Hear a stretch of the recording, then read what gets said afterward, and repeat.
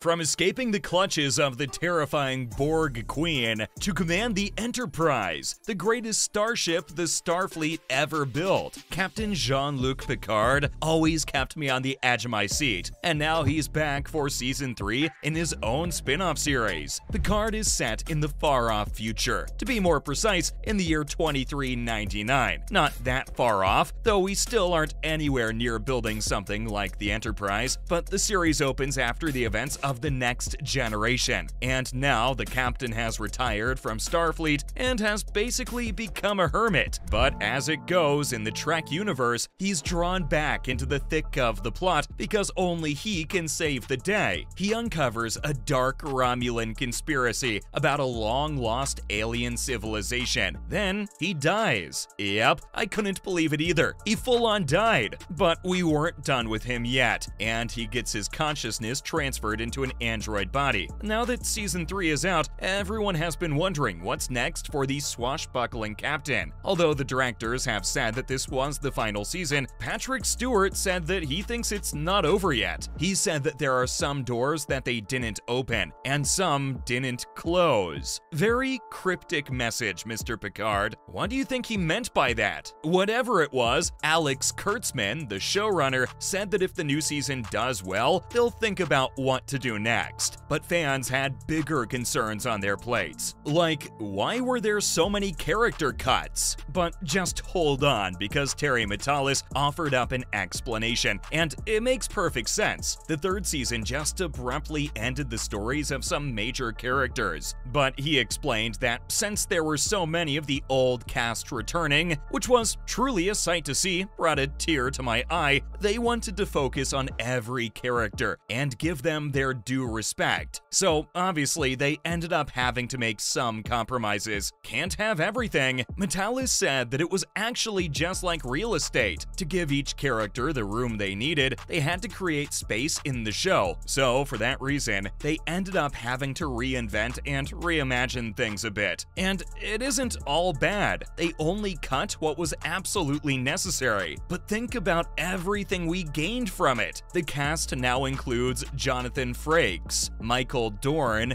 Gates McFadden, Marina Sirtis, LeVar Burton, Brent Spiner, and, of course, Sir Patrick Stewart. It's the old new generation gang back together again. Jeri Ryan is also returning as the fearless Seven of Nine, and new cast members include Amanda Plummer, Mica Burton, and Ashlei Sharpe Chestnut. So, who got cut? Unfortunately, it was quite a few people. Dr.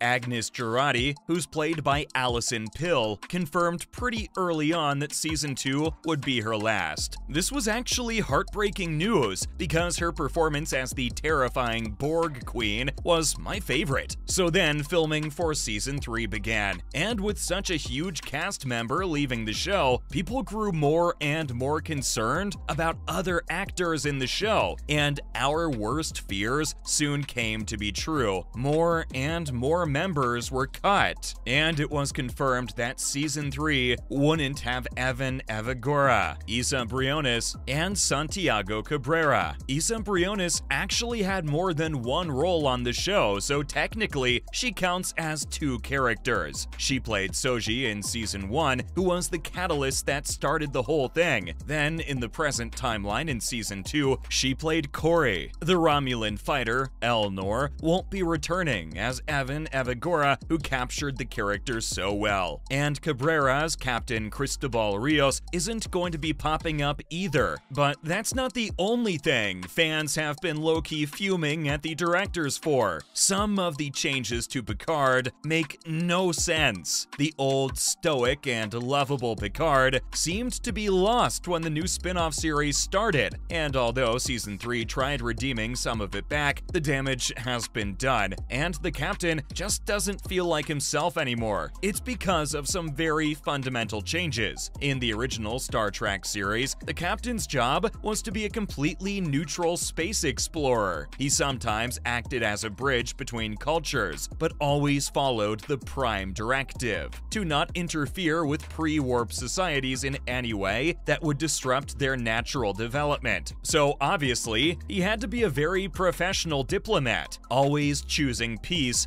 no matter the cost. He avoided conflicts and always respected the norms and traditions of the society they found themselves in. But that's not what it feels like anymore. The new Picard is the complete opposite. Maybe they wanted to show just how disillusioned he has become with Starfleet, but the darker version of the captain we all loved just didn't vibe with me, and more than 70% of the Trek community for that matter. Now he fights to impose his beliefs on others, and doesn't care what fights he's starting. So his open rebellion against one of his core foundations just makes no sense. His abandonment of Starfleet also seems unlikely. As we all know, after Romulus got destroyed in the 2009 Star Trek movie, Picard was reeling with the guilt of his actions. His role in the destruction of the planet was clear. He had refused to give aid on behalf of Starfleet, and that had led to androids being outlawed and hunted down. This is explained as the reason why he's left the service permanently and has become a cold and distant, resentful old man. That's very different from the Picard I remember from my childhood. He was always hopeful and looked forward to a brighter future, but the showrunners said they did this for a reason. They wanted to reflect the political happenings in the world right now and the bleak outlook on a future that looks more and more dystopian by the minute comes from that.